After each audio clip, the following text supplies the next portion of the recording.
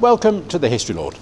You join me here today in a alleyway just by Putney Bridge Station. Now we do love a blue plaque on the History Lord and we're here today to see a very special one indeed.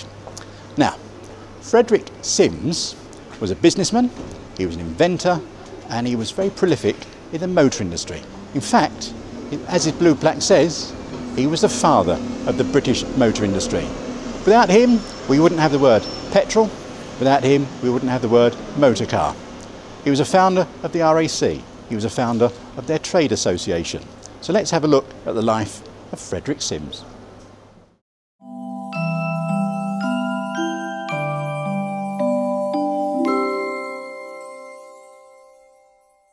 Welcome to London.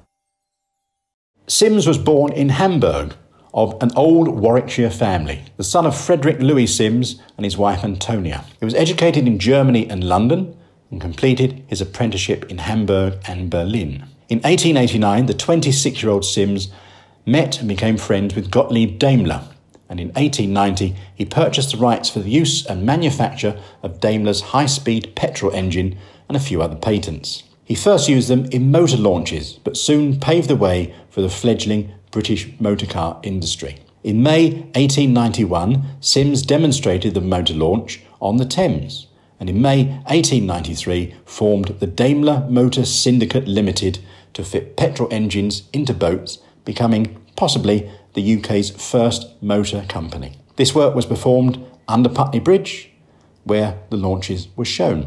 Simms decided to open a motorcar factory in June 1895. He founded the Automobile Club of Great Britain, which later became the RAC in 1897. He also assisted with the foundation of what became the Royal Aero Club. His motor war car was the first armoured car ever built. It was designed and ordered in April 1899, and a single prototype was built by Vickers Sons and Maxim.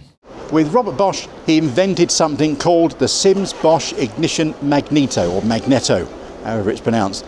I'm going to have to read this because it's rather complicated for me. This enabled the engine designers to precisely time the ignition of the fuel because it was tied to the rotation of the engine. Now, I may have had a number of cars in my time, but I always had someone else to look under the bonnet for me.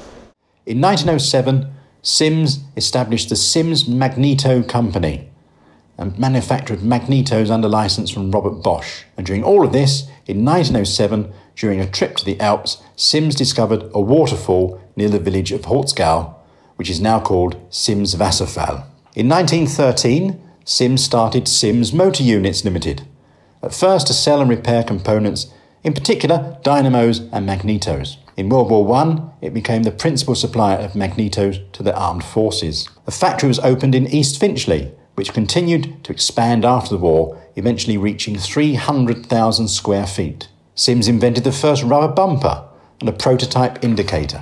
Simms may not be remembered for a single outstanding achievement, but his lasting significance is as the father of the British motor industry.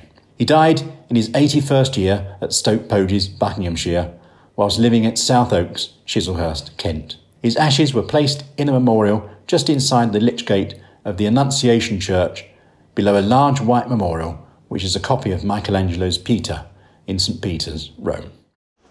Thank you very much for watching today. I do hope you enjoy these videos. If you do, then please subscribe. And if you want to know when videos are uploaded, there's a notification bell just down below. If you want to see what we do outside of these videos, then please go to historylord.co.uk, see about a walking tour of London, or have a look in the description below and see about James's YouTube channel, and that's called Last Line Films. Sadly, I haven't got a chauffeur to take me home today. I'm going that way to get the train. See you later.